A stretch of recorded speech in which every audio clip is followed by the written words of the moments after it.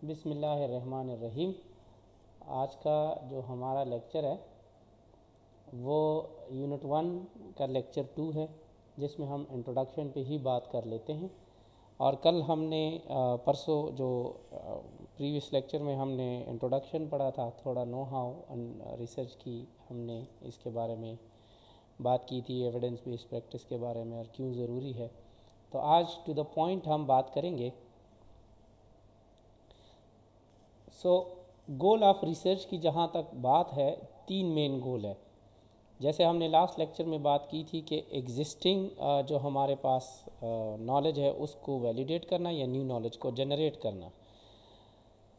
अब, ये पहले ही पॉइंट में डिस्कस हुआ है to develop the body of knowledge तो वो वैलिडेशन या जनरेशन ऑफ़ न्यू नॉलेज इसी से प्रूव होती है। दूसरा है to refine the existing body of knowledge वही वाली बात और टू एक्सपेंड कि जैसी नॉलेज बढ़ती है तो वो स्प्रेड होती है और एक फ़ील्ड की बेसिस बनती है। इस पर हमने काफ़ी बात की थी। अब नर्सिंग में इसकी इम्पोर्टेंस क्या है? नर्सिंग में चूँकि एविडेंस अभी पैदा हो रहे हैं फॉर प्रैक्टिस तो जितनी जितनी रिसर्च होती है, वो एविडेंस को ज़्यादा सपोर्ट करती है। तो एविडेंस बेस्ड नर्सिंग प्रैक्टिस के लिए रिसर्च की बहुत इंपॉर्टेंस है। एक जनरल अंडरस्टैंडिंग जो है ना वो जो भी स्टडीज़ होती हैं उससे हमें स्ट्रॉन्ग एविडेंस प्रोवाइड करती है कि नर्सेज जो भी डिसीज़न मेकिंग करते हैं या जो भी एक्शन लेते हैं तो उससे जो है वो आ, हमें बड़ी स्ट्रॉन्ग एविडेंस के तौर पे वो रिसर्चेज हमें हेल्प करती है। जो भी डिसीज़न हो चाहे वो क्लिनिकल साइड पे हो चाहे वो एजुकेशन साइड पे हो चाहे वो एडमिनिस्ट्रेशन साइड पे हो अगर तो वो रिसर्च बेस्ड डिसीज़न होंगे एविडेंस बेस्ड होंगे तो वो अप्रोप्रिएट होंगे कॉस्ट इफ़ेक्टिव होंगे, उस पर कम खर्चा आएगा और उसके आउटकम भी हमारे पास पॉजिटिव होंगे, जो भी उसके कंज्यूमर हैं। पेशेंट हों या स्टूडेंट्स हों या आपके एम्प्लॉयज़ हो। इसी तरीके से रिसर्च बेस्ड जो भी हम काम करते हैं डिसीज़न लेते हैं तो उसकी क्वालिटी अच्छी होती है। और नर्सिंग केयर की क्वालिटी जो भी रिसर्च बेस्ड अगर एविडेंस बेस्ड क्वालिटी केयर दी जाए तो वो क्वालिटी बहुत अच्छी होती है। हम जे सी आई हॉस्पिटल या मैग्नेट एक्रेडिटेड हॉस्पिटल की क्यों बात करते हैं? क्योंकि वहाँ पे जो नर्सिंग केयर है, वो बुनियादी तौर पे स्टैंडर्ड्स और एविडेंस बेस होती है। तो इसी तरीके से फिर हमारे प्रोफेशन की रिपुटेशन भी बढ़ती है और इसी तरीके से जो है ना, वो स्टैंडर्ड भी इम्प्रूव होता है। जब हम रिसर्च की फाइंडिंग्स को अपने प्रैक्टिस में इंटीग्रेट करते हैं तो एक फ्रेमवर्क बनता है, एक तरतीब बनती है डिसीज़न मेकिंग की, जो हमारे एडमिनिस्ट्रेशन साइड पे बहुत इंपॉर्टेंट होती है। हम समटाइम्स अपने सीनियर्स के डिसीजंस को सपोर्ट भी करते हैं, उसकी तारीफ़ भी करते हैं और सम टाइम उस पर जो है ना हम एतराज़ भी करते हैं क्रिटिक करते हैं। उसकी वजह यही है कि अगर आप सपोर्ट करें तो आपके पास एविडेंस होना चाहिए। अगर आप उस पर क्रिटिक करें तो आपके पास एविडेंस होना चाहिए कि क्यों आप क्रिटिक करें और दुनिया भर में जो है मैग्नेट एक स्टेटस है क्वालिटी का तो हम यही research base evidence base practice करते हुए मैग्नेट सील अचीव कर सकते हैं। अब आप में जो लोग जो है ना, वहाँ पे उन इदारों में काम करें जो जे सी आई एक्रेडिटेड हैं या मैग्नेट एक्रेडिटेड है तो उनको पता होता है कि वहाँ काम किस तरह होता है और कितना डिफरेंस है आम ट्रेडिशनल हॉस्पिटल्स की नस्बत। और एविडेंस बेस्ड प्रैक्टिस ही, यही रिसर्च ही वक्ता फ़वक्ता हमारे प्रैक्टिस में चेंजेस और इम्प्रूवमेंट का बायस बनती है जो हमारे प्रैक्टिस में चेंज आता है। जैसे पुराने ज़मानों में एक ही सिरिंज जो है ना वो मल्टीपल टाइम्स यूज़ होता था। लेकिन वक्त के साथ साथ आप देखें हम एक सिरिंज एक पेशेंट को सिंगल यूज़ के लिए वो करते हैं। सो so, ये बेसिकली जो है ना वो एविडेंस है कि अगर हम ऐसा करेंगे तो हमारे पास इन्फेक्शन का चांस भी कम हो जाएगा और सेफ्टी भी इम्प्रूव होगी। सो so, स्कोप की जहाँ तक हम बात करें स्कोप ऑफ़ नर्सिंग रिसर्च की। तो जब हम स्कोप को स्टडी करते हैं हम फोकस करते हैं कंज्यूमर और प्रोड्यूसर के कंटिन्यूम की जो हमने लास्ट लेक्चर में डिस्कस किया था कि जब रिसर्चर जो वो नर्स रिसर्चर जो रिसर्च को प्रोड्यूस करते हैं जो रिसर्चेस करते हैं वो जब उन रिसर्चेस को आ, करते हैं तो कंज्यूमर कितने हद तक उसको इस्तेमाल करता है? जितना ज़्यादा कंज्यूमर उन रिसर्चेस के बेस पे अपने प्रैक्टिसेस करेगा उतनी ज़्यादा क्वालिटी आएगी उतनी ज़्यादा जो है ना वो फ़ील्ड की ग्रोथ होगी और प्रोफेशन इम्प्रूव होगा। सो so, हमा हमारा जो रोल है ना वो सम हाउ किसी न किसी तरीके से रिसर्च में होना चाहिए। हमने लास्ट टाइम जो बात की थी कि चले अगर हम रिसर्चर नहीं बन रहे हैं ना तो एटलीस्ट हमें कंज्यूमर बनना चाहिए, हमें रिसर्च को स्टडी करना चाहिए ताकि हम जो है ना, अपने प्रैक्टिस को इम्प्रूव तो कर सकें एटलीस्ट दुनिया भर में अगर हम नर्सिंग प्रियोरिटीज़ की बात करें ग्लोबल नर्सिंग प्रियोरिटीज़ की तो हम सब कहते हैं कि nursing is the backbone of health care ये क्यों कहते हैं? क्योंकि ये हेल्थ केयर डिलीवरी सिस्टम का एक पिलर है, एक बहुत मज़बूत पार्ट है। और जब चेंजिंग होती है मेडिकल टेक्नोलॉजी में तो प्रायोरिटीज़ भी प्रैक्टिस की चेंज होती रहती है। बेसिकली जो चेंज है, जो हमारे नर्सिंग प्रैक्टिस में आता है, वो एक्चुअली हमारे हेल्थ केयर डिलीवरी सिस्टम को इफ़ेक्ट करता है इन्फ्लुएंस करता है। अगर आप इसको कंपेयर करें पुराने ज़माने के नर्सिंग प्रैक्टिस से तो नो डाउट नर्सिंग का रोल तब भी बहुत इंपॉर्टेंट था। लेकिन चूँकि तब एविडेंस बेस्ड प्रैक्टिस कम थी, तब नर्सेज जो है ना, वो डिसीज़न मेकिंग में कम इन्वॉल्व थी, तब उनके एजुकेशन और रिसर्च के अपॉर्चुनिटीज़ कम थे। तो हेल्थ टीम मेंबर्स उनको इतनी प्रायोरिटी नहीं देते थे। लेकिन अब देखें तो हर टास्क फोर्स में, हर हॉस्पिटल में जो नर्सिंग डिपार्टमेंट होता है, उनका डिसीज़न मेकिंग में एक बड़ा किरदार होता है। यही वजह है कि दुनिया भर में नर्सिंग की जो प्रायोरिटीज़ है ना, वो डिफरेंट साइट्स को देखती है। अब वो साइट कौन कौन से हैं जहाँ पे नर्सिंग की प्रायोरिटी है कि वहाँ पे नर्सेज और नर्सिंग की फ़ील्ड अपनी इंटरवेंशन कर रही है और कर सकती है। तो उसमें एक है health promotion and disease prevention जिसमें हम हेल्थ एजुकेशन हेल्थ अवेयरनेस की बात करते हैं, लोगों को अवेयर करते हैं। जैसे स्मोकिंग को कम करना है ओबेसिटी को कंट्रोल करना है लाइफस्टाइल चेंजेस करनी है कोलेस्ट्रॉल को कंट्रोल करना है, लोगों की फ़िज़िकल एक्टिविटी को बढ़ाना है वुमेन हेल्थ को इम्प्रूव करना है पीडियाटिक हेल्थ को इम्प्रूव करना है। इसी तरीके से promotion of health of vulnerable and marginalised communities देखिए वलनरेबल एंड मार्जिनलाइज्ड कम्युनिटी कौन से होते हैं? इसमें रिसर्च तो बहुत ब्रॉडर पर्सपेक्टिव दे रहा है, मैं आपको सिंप्लीफाई बता देता हूँ। वलनरेबल वो लोग होते हैं जो खुद डिसीज़न मेकिंग नहीं कर सकते या किसी तरीके से दूसरे के डिसीज़न को जल्दी उससे इफ़ेक्ट होते हैं। वो रेजिस्ट नहीं कर सकते। मिसाल के तौर पे बच्चे हैं।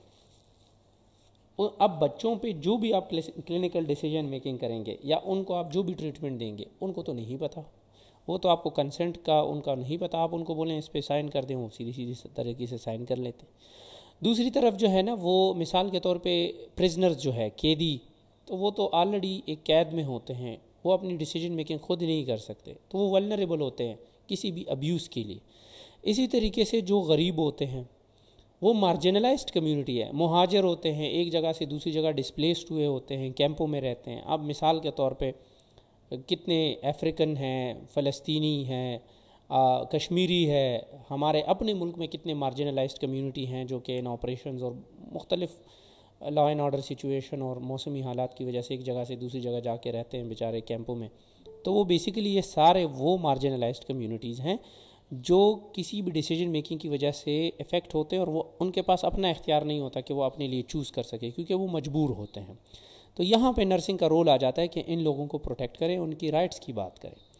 Similarly patient safety and quality of health care hospital में ये बहुत बड़ा कॉन्सेप्ट है और नर्सिस का इसमें बड़ा रोल है, बल्कि मैंने मेजर हॉस्पिटल्स में यही देखा है कि वहाँ पे patient safety and quality control department जो होता है, उसमें मेनली नर्सिस ही काम करती है और नर्सिस के अंडर ही आता है। क्योंकि ये नर्सिंग का सबसे इंपॉर्टेंट पिलर है। इसी तरीके से एविडेंस बेस्ड प्रैक्टिस और ट्रांसलेशन रिसर्च को इम्प्रूव करना है। हमने एविडेंस पे काफ़ी बात कर ली और ट्रांसलेशन रिसर्च ये है कि जो बाकी फील्ड्स में रिसर्च हो रहे हैं, उसको रेप्लिकेट करें नर्सिंग के परस्पेक्टिव से और नर्सिंग में भी ऐसी रिसर्च हो। And the next point is promotion of health and wellbeing of older people geriatric population की हेल्थ को इम्प्रूव करना, जैसे ओल्ड एज होम्स हो गए, आपने केयर होम्स का कॉन्सेप्ट सुना होगा, उसमें चूँकि वो डिपेंडेंट होते हैं फिज़िकली जो है ना वो अपना काम काज पूरा नहीं कर सकते तो इसमें नर्सेज का बड़ा रोल आ जाता है। ये भी नर्सिंग की एक प्रायोरिटी है। Patient centred care and care coordination अब हेल्थ केयर प्रोफेशनल आपस में कैसे कोऑर्डिनेट करते हैं? Doctors nurses physiotherapist pharmacist allied health professional इनकी कोऑर्डिनेशन कैसी है और फिर वो सब मिल के जो कंबाइंड डिसीज़न मेकिंग करते हैं, ये बेसिकली पेशेंट सेंटर्ड है कि पेशेंट बीच में है और सब उसके कंसर्न हो के जो है ना वो कंबाइन एक डिसीज़न करते हैं जो सब एक पेज पे रहे। तो ये भी नर्सिंग की प्रायोरिटी है कि बेसिकली पेशेंट सेंटर्ड केयर मिले। इसी तरीके से कैंसर केयर हो गया एंड ऑफ़ लाइफ केयर हो गया पेलिएटिव केयर हो गया, ये सारे बड़े इंपॉर्टेंट कॉन्सेप्ट हैं। आपको पता ही है, आपको बहुत बेहतर आइडिया है कि नर्सिंग का इसमें कितना बड़ा रोल है। जेनेटिक जेनेटिक टेस्टिंग हो गई या जेनेटिक थेरेपीज़ हो गई। आजकल पाकिस्तान में जो तेलीसीमिया का रेशो इतना बड़ा है, इस पर अब काफ़ी काम हो रहा है। उसकी वजह मेनली जो ज़्यादा बताई जाती है क्योंकि ये जेनेटिक डिज़ीज़ है और फैमिली के अंदर शादियों का मेनली इससे लिंकेज है तो इस पर काफ़ी काम हो रहा है, लोगों को अवेयर किया जा रहा है। अब तो गवर्नमेंट ने एक पॉलिसी भी बनाई है कि जो है वो शादी से पहले इसकी टेस्टिंग बहुत ज़रूरी है। कि तेलीसीमिया माइनर तो नहीं है या इस तरह कोई इसके जो है ना वो जेनेटिक इश्यूज़ तो नहीं है कि जिससे बाद में बच्चों में कोई प्रॉब्लम हो सके। तो ये भी नर्सिंग की प्रायोरिटी में आता है कि जेनेटिक टेस्टिंग हो और जेनेटिक के हवाले से जो है ना वो जो भी कपल्स होते हैं उनकी प्रॉपर काउंसलिंग हो। इसी तरीके से नर्स रिसर्चर जो है उनकी कैपेसिटी डेवलपमेंट हो, वो ज़्यादा से ज़्यादा रिसर्चर करे, उनको फंडिंग रिसीव हो, उनके पास रिसोर्स हो टीम्स हो और ओवरऑल नर्सिस के वर्क इन्वायरमेंट को सेफ़ एंड साउंड किया जाए। रिस्पेक्ट दिया जाए, इसी तरीके से हरासमेंट फ्री इन्वायरमेंट हो। तो ये सारे वो प्रायोरिटीज़ हैं जो नर्सिंग फ़ील्ड के अंदर इम्पोर्टेंस रखती है और उस पर नर्सेस काम करती है। नर्सिंग रिसर्च करते हम क्यों हैं? सवाल यहाँ ये आता है। अब इसमें एक जनरल पर्पज़ है और एक स्पेसिफिक पर्पज़ है। तो जनरल पर्पज़ जो है, वो ये है कि हम उन आंसर क्वेश्चंस को आंसर करें या उन प्रॉब्लम्स के सलूशन को निकालें जो हमारे नर्सिंग प्रोफेशन के लिए इंपॉर्टेंट है। ये तो एक जनरल पर्पज़ हो गया। स्पेसिफ़िक क्या है? स्पेसिफ़िक ये सारी लिस्ट आपके सामने है। इसमें है कि बेसिक रिसर्च की जाए ताकि बेसिक नॉलेज ऑफ़ नर्सिंग जो है ना वो इम्प्रूव हो। अब बेसिक एम्प्लाइड रिसर्च हम बाद में पढ़ेंगे नेक्स्ट लेक्चर में। इसी तरीके से नर्सिंग थ्योरी और बेहतर से बेहतर हो। नर्सिंग की जो थ्योरी बेस है वो और स्ट्रॉन्ग हो। जो अप्लाइड रिसर्च है, जिसमें हम प्रॉब्लम के सोल्यूशंस को देखते हैं। बेसिक रिसर्च में हम नॉलेज को बिल्ड करते हैं, जबकि अप्लाइड में हम जो है ना प्रॉब्लम के सोल्यूशंस को देखते हैं। तो वो जो एग्जिस्टिंग प्रॉब्लम है, उनके सोल्यूशंस को हम जो है, वो फाइंड आउट करें। इसी तरीके से एविडेंस बेस जो हमारे पास प्रैक्टिस हैं, उसकी यूटिलाइजेशन हो। मतलब हमारे प्रैक्टिस वक्त के साथ साथ एविडेंस बेस हो और ज़्यादा से ज़्यादा हो तो इम्प्रूवमेंट इसी से आती है। कोई भी नर्सिंग इंटरवेंशन टेस्ट करना हो, जैसे फॉर एग्जांपल आप अगर बेड सोर की ट्रीटमेंट कर रही हैं या उसकी केयर कर रही हैं तो आपके पास तीन ऑप्शन है। या तो उस पर जो है ना, आप सिंपल मसाज करें या फिर उसको मॉइस्चराइज़ करें, ये एक थेरेपी हो गई। दूसरी थेरेपी हो गई कि आप उस पर जो है ना कमफील लगाएँ। और तीसरा ये है कि उस पर कोई क्रीम वगैरह लगाएँ। तो अब इसमें से आपने देखना है कि सबसे ज़्यादा इफ़ेक्टिव कौन सा है, कौन सी नर्सिंग इंटरवेंशन है जो कि इस बेड सोर के प्रॉब्लम को बेहतर डील करती है। तो इसकी इफ़ेक्टिवनेस को देखने के लिए फिर हम रिसर्च करते हैं। इसी तरीके से ह्यूमन बिहेवियर से रिलेटेड जो प्रॉब्लम होते हैं, जो नर्सिंग प्रैक्टिस में सामने आते हैं पेशेंट को कैसे डील करना है स्टाफ को कैसे डील करना है जूनियर नर्सेज को कैसे मेंटोरशिप प्रोवाइड करनी है सीनियर से कैसे लर्न करना है ये सारी भी जो है ना रिसर्च का पार्ट है और ये बिहेवियरल रिसर्च नर्सिंग का एक इंपॉर्टेंट पार्ट है जो हम रिसर्च में करते हैं। आ, इसी तरीके से different level of explanation achieve करनी है। किसी भी एक कॉन्सेप्ट की एक एक्सप्लेनेशन नहीं होती वो तो जब हम पैराडाइम स्टडी करेंगे उसमें हम इसको अंडरस्टैंड करेंगे। तो हमेशा हर कॉन्सेप्ट की डिफरेंट एक्सप्लेनेशन होती है इंडिविजुअल अलग होती है और जनरल अलग होती है। तो वो लेवल ऑफ़ एक्सप्लेनेशन अचीव करने के लिए हम नर्सिंग रिसर्च करते हैं। और इसी तरीके से सारे जो है ना, आपके पास पॉइंट्स हैं, बहुत इजी स्ट्रेट फॉरवर्ड हैं, जिसमें फॉर एग्जांपल रिसोर्स लोकेशन हम डिसाइड करते हैं कि कौन से वार्ड में कितनी, कौन सी मशीन देनी है स्टाफ के कितना देना है और क्या करना है, क्या नहीं करना तो बेसिकली ये सारा जो है ना, वो इसी में आता है। तो हार्म से प्रिवेंट करना इसी तरीके से ट्रीटमेंट के साथ पेशेंट्स को कंप्लाई करना कि वो आपकी गाइडलाइंस को फॉलो करें डिस्चार्ज के बाद अपनी मेडिसिन प्रॉपर लें, अपनी ट्रीटमेंट जारी रखें हेल्थ प्रमोशन एक्टिविटीज़ हो गई, ये सारे नर्सिंग रिसर्च की प्रायोरिटीज़ हैं। अब आते हैं कुछ टर्मिनोलॉजीज़ की तरफ़, जो कि हमारे पास बहुत इंपॉर्टेंट है रिसर्च के हवाले से। और ये टर्मिनोलॉजीज़ आप कुछ बायोस्टेट में भी पढ़ेंगे और कुछ रिसर्च में भी पढ़ेंगे, क्योंकि ये दोनों सब्जेक्ट हम हाउ कुछ ना कुछ तरीके से एक दूसरे के साथ जो है ना वो अटैच्ड है।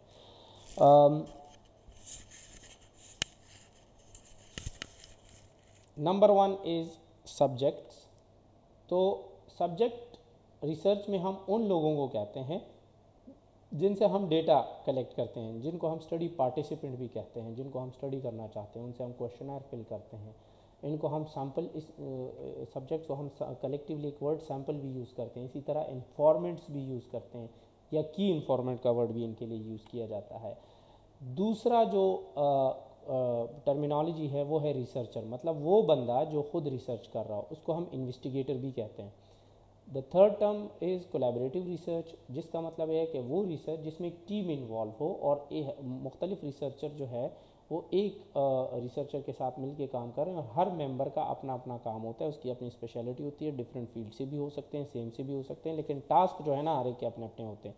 वो सब मिल के एक रिसर्च को कर रहे होते हैं।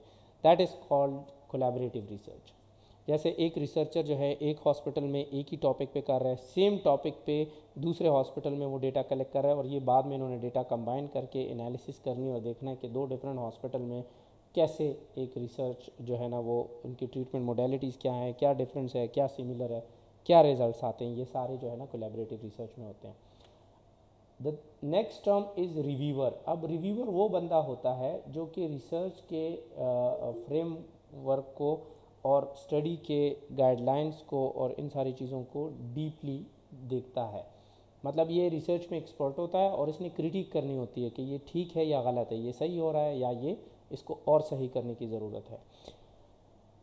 फंडर या स्पॉन्सर, वो पर्सन होता है जो कि रिसर्च को फाइनेंस करता है, जो रिसर्च को हमारे पास जो है ना, वो फंड्स प्रोवाइड करता है। क्योंकि कोई भी रिसर्च जो होती है, उसमें फंड्स की बहुत ज़्यादा ज़रूरत होती है, इसीलिए स्पॉन्सर या फंडर ज़रूरी है। कोई इदारा भी हो सकता है, कोई इंडिविजुअल भी हो सकता है। नेचुरलिस्टिक सेटिंग किसे कहते हैं? ये एक इंपॉर्टेंट कॉन्सेप्ट है इन द फ़ील्ड। वो सेटिंग, वो रिसर्च की जगह जो नेचुरल होती है। फॉर एग्ज़ाम्पल घरों में लोग जाके सर्वेस कर रहे होते हैं।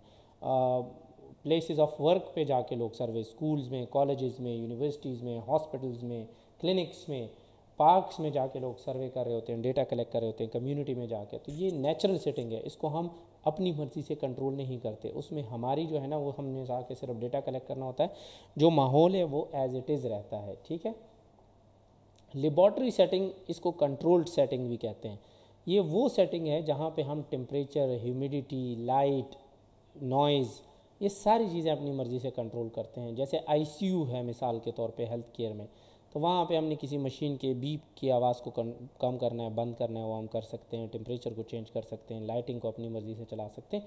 तो बेसिकली लेबॉर्ट्री सेटिंग इसको कहते हैं जिसको हम कंट्रोल कर सकें आर्टिफिशियल इन्वायरमेंट क्रिएट कर सकते हैं। साइट का मतलब है कि ओवरऑल वो लोकेशन जहाँ पे रिसर्च हो रही होती है एंड एब्स्ट्रैक्शन मींस ये क्वांटिटेटिव रिसर्च में होता है। अब हम ये आगे नेक्स्ट लेक्चर्स में पढ़ेंगे कि जो क्वालिटेटिव और क्वांटिटेटिव रिसर्च होती है वो क्या होता है।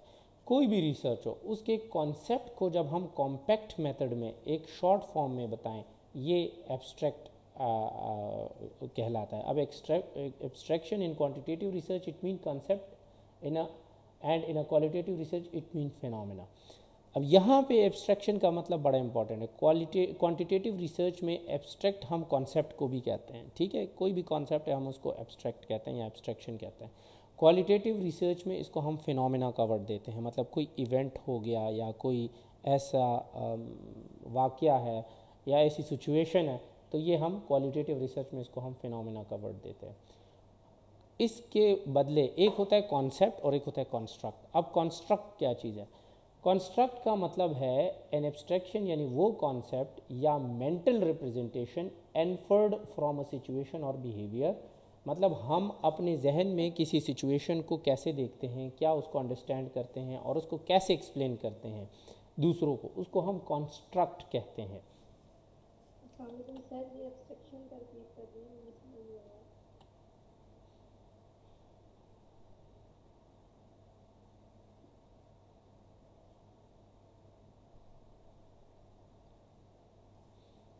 थ्यूरी को पढ़ लेते हैं कि theory is a systematic abstract explanation of some aspect of reality देखिए रियलिटी हर चीज़ की एक रियलिटी होती है। अब जब हम रियलिटी को अपने अल्फाज में लेकर आते हैं और वो एब्स्ट्रैक्ट होते हैं एब्स्ट्रैक्ट का मतलब ये है कि ऐसा एक कॉन्सेप्ट कि अगर आप इसको किसी को बताएँ तो वो अपने जहन में उसकी एक पिक्चर बना लेता है। अब हर एक की अंडरस्टैंडिंग अपनी अपनी होती है। फॉर एग्ज़ाम्पल मैं जनरली एक एग्ज़ाम्पल लेता हूँ जिन्नात का ठीक है? तो आप कहते हैं कि जिन्नात ठीक है? अब किसी ने जिन देखा हो या ना देखा हो लेकिन ये एक ऐसा कॉन्सेप्ट है कि हर एक के जहन में जो है ना एक पिक्चर बन जाती है जिन की। तो ये एक थ्योरी है ठीक है? ये जो है ना एक रियलिटी है। सो so, थ्योरी के जो कॉन्सेप्ट्स होते हैं ना वो एक दूसरे के साथ नेटेड होते हैं वो कनेक्ट हुए होते हैं और वो कोहेरेंट होते हैं एक ख़ास मैकेनिज्म के साथ इंटरेक्ट करते हैं एक दूसरे के साथ। कि वो किसी भी दुनिया के अंदर किसी भी सिचुएशन को एक्सप्लेन कर सकें जब मिल बैठते हैं और जो है ना वो एक आइडिया प्रोवाइड करते हैं। पास नर्सिंग थ्यूरीज हैं, वो काफ़ी ज़्यादा हैं, ठीक है? बेटी ह्यूमन सिस्टम मॉडल है मार्ता रॉजर की थ्योरी है यूनिटरी बी ह्यूमन बीइंग की, या और बहुत सारे हैं। मैस्लो हरार की भी एक थ्योरी ही है साइकोलॉजी की। तो थ्योरीज में एब्स्ट्रैक्ट कॉन्सेप्ट्स होते हैं, जो मिल मिला के एक आपको एक ऐसी रियलिटी की एक्सप्लेनेशन देते हैं कि वो आम तौर पे ऑब्ज़र्व नहीं की जा सकती। Next is heterogeneous group and homogeneous group heterogeneous group का मतलब ये है कि एक ऐसा ग्रुप जिसके अंदर आपस के एट्रीब्यूट एक दूसरे से डिफरेंट हो एक्सट्रीमली वेरिड एट्रीब्यूट्स हों उस ग्रुप में अंदर। मिसाल के तौर पे 50 लोगों का एक ग्रुप है, जिसमें कुछ औरतें हैं, कुछ बच्चे हैं, कुछ बूढ़े हैं, कुछ मर्द हैं। किसी की एज जो है ना वो दूध पीते बच्चे की है, कोई जो है ना वो व्हील चेयर पर है। इसी तरीके से कोई गारा काला है, कोई गोरा है, कोई एक लैंग्वेज बोलता है, कोई दूसरी लैंग्वेज बोलता है तो ये हर करेक्टरिस्टिक, हर खासियत एक पर्सन की दूसरे पर्सन से उस ग्रुप के अंदर डिफरेंट है। अब इस तरह के ग्रुप को हम हेट्रोजीनियस ग्रुप कहेंगे। होमोजीनियस ग्रुप वो होती है कि the amount of variability limited होती है अंडर स्टडी के। एक स्टडी में अगर मिसाल के तौर पे हम कोई भी ग्रुप लें, मिसाल के तौर पे पार्टिसिपेंट का एक ग्रुप ले लेते हैं कि फ़ीमेल का एक ग्रुप मैंने लिया नर्सिस का ये ग्रुप ले लिया। तो अब इनमें एट्रीब्यूट्स अगर हम देखें ना तो 50 नर्सेज़ का अगर मैं ग्रुप लूँ तो वो 50 50 सबसे पहली बात कि वो नर्सेज़ हैं। दूसरा ये है कि वो सारी फीमेल्स में ने ग्रुप सेलेक्ट किया तीसरी बात यह कि वो जो है ना वो एक ही तरह का काम करती हैं हॉस्पिटल में। ज़्यादा से ज़्यादा क्या डिफरेंस होगा? एज के हिसाब से थोड़ा बहुत डिफरेंस होगा या कलर के हिसाब से होगा ठीक है? सो so, इस तरह के ग्रुप को हम होमोजीनियस ग्रुप कहते हैं। नेक्स्ट इज़ वेरिएबल वेरिएबल किसे कहते हैं? सो वेरिएबल बेसिकली वो कॉन्सेप्ट होते हैं क्वान्टिटेटिव स्टडीज़ में कि जिसको हम स्टडी करना चाहते हैं। मतलब ये है कि अगर तो मैं देखूँ कि एक डिस्ट्रिक्ट है, मिसाल के तौर पे सरगोदा। मैं कहूँ सरगोदा में अगर दो लाख आबादी है तो दो लाख में कितने लोगों को टीबी है? तो जो टीबी का कॉन्सेप्ट है ना, ये एक वेरिएबल है, जिसको मैं स्टडी करना चाहता हूँ। और ये डिफरेंट भी हो सकता है। मतलब ये है कि सरगोदा में बहुत सारे लोगों को टीबी नहीं होगा, बहुत सारे लोगों को हो सकता है। मेल को भी हो सकता है फीमेल को भी हो सकता है, लेकिन कॉन्सेप्ट टीबी है। फोकस मेरा टीबी है। इसी तरीके से ये थोड़ी बहुत वेरिएशन कर सकता है। टीबी अब एक जनरल टर्म है। किसी को बोन टीबी भी हो सकता है, किसी को चेस्ट टीबी भी हो सकता है, किसी को इंटेस्टाइनल टीबी या वट जो भी टीबी तो बहुत सारे ऑर्गन्स को हो जाता है। तो ये वेरी करता है, लेकिन कॉन्सेप्ट मेनली जो है, क्या है? टीबी का है। तो इसको इसीलिए हम वेरिएबल कहते हैं। ह्यूमंस uh, के तकरीबन तमाम एस्पेक्ट्स को वेरिएबल कहते हैं। और ये कंडीशन जो है ना थोड़े बहुत एक दूसरे से डिफरेंट होते हैं जब हम रिसर्च करते हैं। रिसर्चर क्या करते हैं कि वो अंडरस्टैंड करते हैं कि ये जो वेरिएबल्स हैं ये जो चीज़ें हैं इंसानों के अंदर या हेल्थ केयर के अंदर तो ये क्यों और किस तरह एक दूसरे से डिफरेंट है? और जो डिफरेंसेस है, वो एक दूसरे के साथ कैसे अटैच्ड है? तो जितनी वेरिएबिलिटी या हेट्रोजिनिटी एक ग्रुप के अंदर होगी, इतना जो है ना एक स्टडी डिज़ाइन पे उसका असर होगा। सो बेसिकली वेरिएबल जो है ना, वो ए इनहेरेंट करेक्टरिस्टिक्स होती हैं। For example age blood group weight height ये वो वेरिएबल्स हैं जिनको हम हर स्टडी में तकरीबन स्टडी करते हैं कि हमने सौ पेशेंट्स उठाए हैं, उनकी एज देखी। तो एज देखे ना, किसी की साठ साल होगी, किसी की चालीस साल होगी, किसी की पंद्रह साल होगी। है तो एज ही, लेकिन थोड़ी वेरिएबिलिटी उसमें हो सकती है। इसी तरीके से ब्लड ग्रुप तो अब है तो सबका ब्लड ग्रुप लेकिन किसी का ए पॉजिटिव होगा, किसी का बी पॉजिटिव होगा, किसी का ओ नेगेटिव होगा। और इसी तरीके से वेट हाइट वगैरह के लिए भी यही तरीका कार है। So many a times the researcher create variable बहुत सारे ऐसे रिसर्चेज होते हैं कि जब हमारे पास वेरिएबल एक डिफाइंड वेरिएबल नहीं होता तो फिर रिसर्चर जो है ना जिस चीज़ को स्टडी करना चाहता है उसको वेरिएबल बना के उसको स्टडी करते हैं। Without a variable we can not conduct quantitative research ठीक है? सो so, हमारे पास वेरिएबल के बहुत सारे टाइप्स हैं यहाँ बायोस्टेटिस्टिक्स के कोर्स में पढ़ेंगे जिसमें कॉन्टीन्यूस वेरिएबल है डिस्क्रीट वेरिएबल है कैटेगोरिकल है डाइकोटमस है डिपेंडेंट है और इंडिपेंडेंट है। अब मैं यहाँ पे जो है ना, चूँकि वो बायोस्टैट के वेरिएबल्स बायोस्टैट के परस्पेक्टिव से जो वेरिएबल है, उसको मैं एक्सप्लेन नहीं करूँगा। यहाँ रिसर्च के कॉन्सेप्ट के हिसाब से जो इंपॉर्टेंट वेरिएबल है, वो मैं डिस्कस करूँगा। एक डिपेंडेंट है और एक इनडिपेंडेंट है। तो डिपेंडेंट वेरिएबल से पहले हम इनडिपेंडेंट को स्टडी कर लेते हैं। देखें जिस तरह ए हर इवेंट का या हर एक्शन का एक कॉज होता है, आपको भूख लगती है तो आप उठ के खाने का बंदोबस्त करते हैं। तो वो भूख जो है ना, वो कॉज है। और जो एक्शन है, जिसकी वजह से आप उठ के जो है ना, वो अपने लिए खाने पीने की तैयारी करते हैं या खाने की कोई चीज़ पैदा करते हैं तो वो जो है डिपेंडेंट है। इफ़ेक्ट है, उसको हम इफ़ेक्ट कहते हैं। सो भूख कॉज हो गया या इंडिपेंडेंट वेरिएबल हो गया और उसके अगेंस्ट जो एक्शन है खाने का, वो डिपेंडेंट है। जितनी आपको भूख लगती है, इतने ही आप खाना खाते हैं।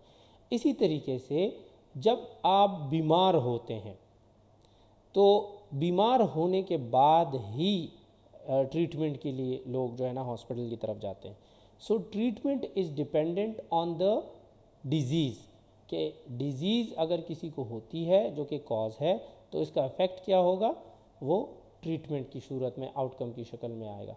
सो इंडिपेंडेंट वेरिएबल जो है ना, वो बेसिकली वो होते हैं, जो किसी के करने या होने से या किसी और सिचुएशन की वजह से इफ़ेक्ट नहीं होते। मतलब ये किसी को बीमारी लगनी है तो वो लगेगी। अब हो सकता है उसका, अब अब वो बीमारी ख़ुद कब डिपेंडेंट वेरिएबल बनेगी? जब उसका इंडिपेंडेंट वेरिएबल होगा। मिसाल के तौर पर अगर किसी को इन्फेक्शन लगता है तो ये जो इन्फेक्शन बीमारी है बेसिकली इसके लिए इंडिपेंडेंट चीज़ क्या है?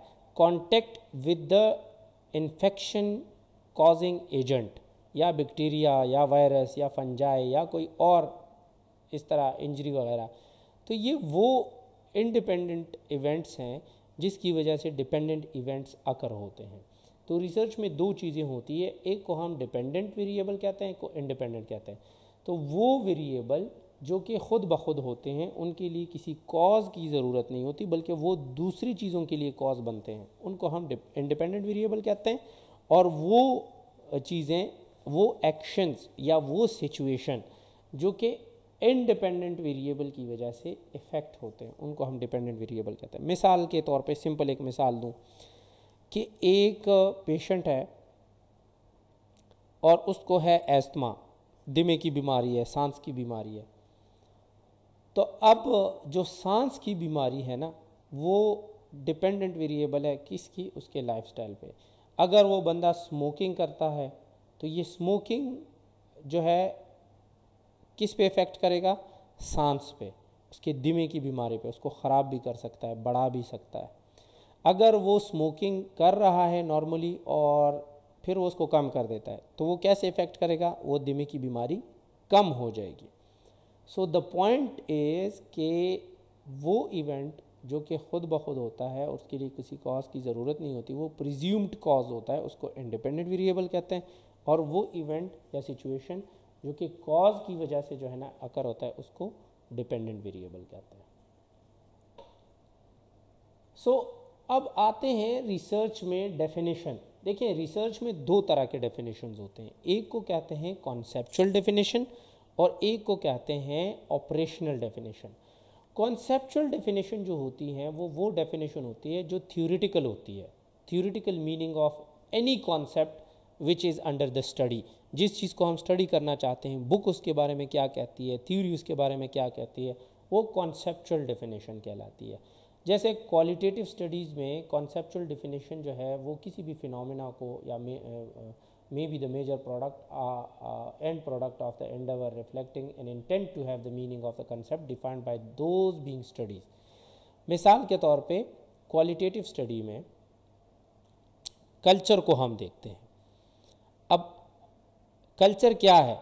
हमें बुक कहती है कि कल्चर जो है ना, वो रहन सहन, गम, खुशी के मौक़ों पे जो एक्शन होते हैं हमारे डिफरेंट लाइफ के डिफरेंट सिचुएशन में जो हम एक ट्रेडिशन को फॉलो करते हुए certain set of actions perform करते हैं, उसको कल्चर कहते हैं। ये कॉन्सेप्ट है। अब आप पंजाबी कल्चर को उठा के देख लें। तो जब आप प्रैक्टिकली उसको देखते हैं कि पंजाबी कल्चर में क्या है, कि औरतों का क्या रोल है, मर्दों का क्या रोल है, शादी पे किस तरह खुशी मनाई जाती है, दुख पे किस तरह जो है ना गम मनाया जाता है इसी तरीके से ईद पे क्या होता है, कपड़े कैसे पहनते हैं, खाना पीना कैसे करते हैं, ज़ुबान कैसे बोलते हैं तो वो प्रैक्टिकल फॉर्म है उसकी। That is called operational definition ठीक है? इसी तरीके से क्वांटिटेटिव स्टडी में रिसर्चर को ये क्लैरिफाई करना होता है। क्वालिटेटिव स्टडी में हम क्लैरिफाई नहीं करते, उसको हम एक्सप्लोर करते हैं और फिर उसको हम जो है ना लोगों तक बताते हैं कि मिसाल के तौर पे किलाश का कल्चर कैसा है, ठीक है? चित्राल में जो होते हैं। ये कौन सा कल्चर है क्या इनकी तारीख है और ये सारे पॉइंट्स हम फिर बताते हैं। तो ये कॉन्सेप्ट पैदा करना होता है। क्वालिटेटिव स्टडी में चूँकि हम न्यू नॉलेज जनरेट करते हैं तो इसीलिए उसमें कॉन्सेप्ट बनते हैं। क्वान्टिटेटिव स्टडी में हमने कॉन्सेप्ट्स उठाने हैं जो ऑलरेडी डिफ़ाइन हुए होते हैं और उनको हमने प्रैक्टिकली देखना होता है कि प्रैक्टिकली क्या है। ठीक है? सो so, इसीलिए क्वांटिटेटिव स्टडी में हम स्टार्ट में ही कॉन्सेप्चुअल डेफिनेशन को डिफ़ाइन करते हैं बताते हैं लोगों को कि इसका मतलब क्या है। जबकि क्वालिटेटिव में ज़रूरी नहीं कि हमारे पास कॉन्सेप्चुअल डिफिनेशन हो तो आ, हम जो है ना वो कॉन्सेप्ट को पैदा करते हैं। उसको जब स्टडी करते हैं और उसका मीनिंग निकालते हैं तो वो क्वालिटेटिव स्टडी में होता है। तो उसमें क्वालिटेटिव में ज़रूरी नहीं कि कॉन्सेप्चुअल डेफिनेशन पहले से दी जाए। बाद में भी जो मतलब निकलता है वो दी जा सकती है, जबकि क्वांटिटेटिव में पहले से ज़रूरी है। अब ऑपरेशनल डेफिनेशन जो प्रैक्टिकल फॉर्म होता है किसी भी एक्टिविटी का तो वो ऑपरेशनल डेफिनेशन जब आप, मिसाल के तौर पे मैं आपको हेल्थ रिलेटेड उससे एग्जांपल दे देता हूँ।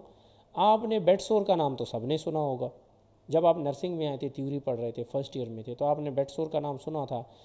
अब वो कॉन्सेप्ट था। टीचर ने आपको बताया कि बेड सोर बेसिकली स्किन डैमेज होने की वजह से स्किन टिश्यू जब डैमेज हो जाता है तो जो है ना, वहाँ पे पाँच साइन ऑफ़ इन्फ्लेमेशन जब ज़ाहिर हो जाती है और स्किन रप्चर हो जाता है और स्किन पर डैमेज शुरू हो जाता है और डिफरेंट लेयर्स उसके इन्वॉल्व होते हैं। दैट इज़ कॉल्ड बेड सोर अब वो तो आपका एक कॉन्सेप्ट बन गया। लेकिन जब आप वार्ड में गए और आपने देखा कि फ़र्स्ट डिग्री बेड सोर जो है, उसमें ना तो स्किन रप्चर होती है ना तो स्किन पे जो है ना वो फाइव साइन ऑफ़ इन्फ्लेमेशन ज़ाहिर होती है सिर्फ़ एक रेडनेस होती है या टोरी सी टेंडरनेस होती है। और स्किन भी नॉर्मल रहती है लेकिन कहते हैं हम उसको फ़र्स्ट डिग्री बेड सोर है। तो बेसिकली वो फिर ऑपरेशनल डेफिनेशन है बेड सोर की। वहाँ पे प्रैक्टिकली आप बेड uh, शुरू हो चुका होता है आप उसको बेड सोर में काउंट करते हैं। कॉन्सेप्ट के हिसाब से प्रैक्टिस में थोड़ा सा डिफरेंस होता है ये तो आपको पहले से पता है। सो so, ऑपरेशनल डेफिनेशन किसी भी कॉन्सेप्ट के वो बेसिकली वो एक्शंस होती हैं या वो ऑपरेशन होती है जो रिसर्चर को परफॉर्म करनी होती है कलेक्शन ऑफ़ डेटा या मेज़रमेंट ऑफ़ रिक्वायर इन्फॉर्मेशन के टाइम पे। सो so, जो भी हमारे ऑपरेशनल डेफिनेशन होते हैं ना वो कॉन्सेप्चुअल के साथ कॉन्ग्रुवेंसी में होते हैं। मतलब मैंने बेटसोर की एग्जांपल आपको थियोरेटिकली दी तो प्रैक्टिकली भी बेटसोर की ऑब्जर्वेशन की मिसाल दी।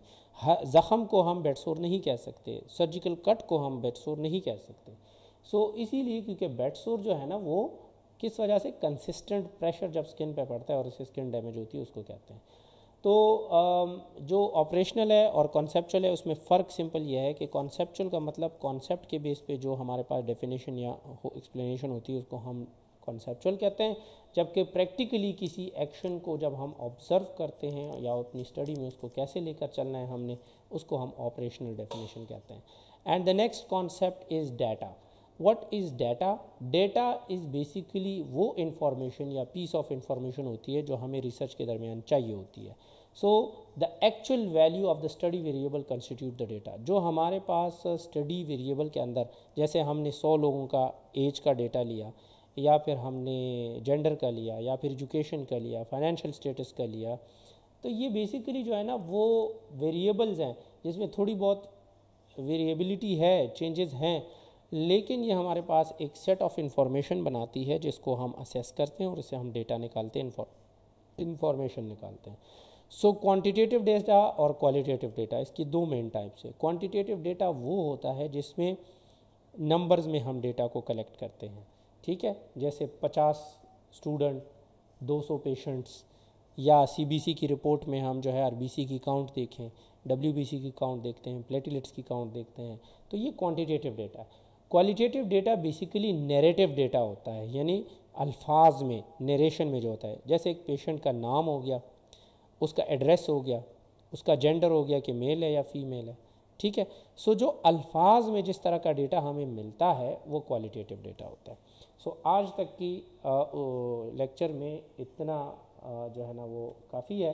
नेक्स्ट लेक्चर में इंशाल्लाह फिर हम आगे का कोर्स कंटिन्यू करेंगे। अभी तक के लिए कोई सवाल है तो आप जो है वो पूछ सकते हैं थैंक यू